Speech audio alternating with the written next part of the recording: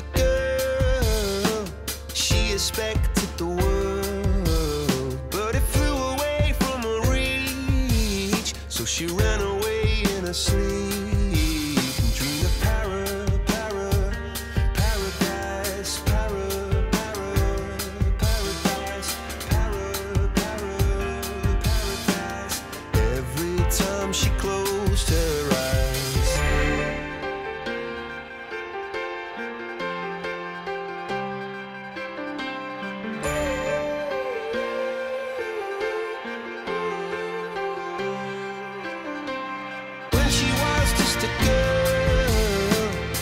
Expected